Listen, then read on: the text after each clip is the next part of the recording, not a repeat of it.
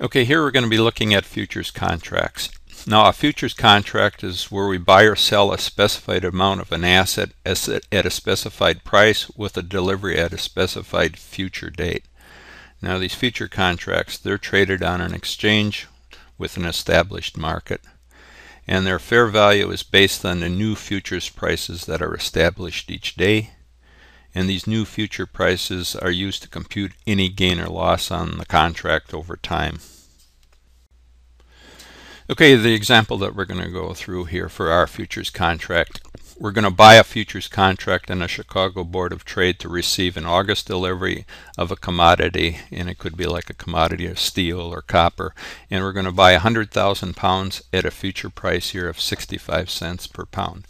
So looking at our contract here, we have an established future date here of an August delivery, and then we have a specified price here of 65 cents per pound and we also have the specific amount of the asset here 100,000 pounds now to fulfill this contract we either uh, do it through delivering proof that the product is at the warehouse or by paying a cash difference difference or by providing another contract at the market price. The actual product is not exchanged. Okay to calculate our gains and losses on this futures contract now these gains and losses are based on the fair value of the contract since this future rate or price that we're going to be using for our comparison here is established by a market exchange rate. So looking at our first date here of June 1st, we compare the June 1st future rate here or future price with the May 1st uh, uh, future rate here and this May 1st uh, date here represents the contract inception or the start date of the contract. So looking at our uh, future rate here on June 1st, it, it was 0.665. It actually was an increase over the uh, start date here of the contract of 0.650. So we'd be recognizing a gain between the difference between the two here.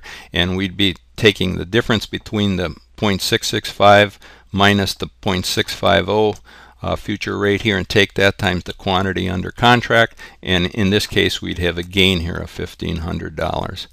Now looking at our next period here of July 1st, we'd be comparing the future rate on July 1st with the future rate here of the previous period of June 1st. So in this case we had a reduction here in the future rate. So we'd be receiving less money uh, than less money. So we would take the difference between the um, 0.630 here for the July date and the 0.665 here and the June date times our quantity here and we had a loss here a reduction of $3,500. Now looking at our last period here, August 15th, we'd again be comparing our fu future rate here on August 15th with the previous uh, period here of July 1st of uh, uh, future rate here. And we again we had a reduction here in this future rate so we'd be re receiving less money for this futures contract. So we'd be recognizing a loss and that would be the difference between the futures rate here of July 1st of 0.620 minus the uh,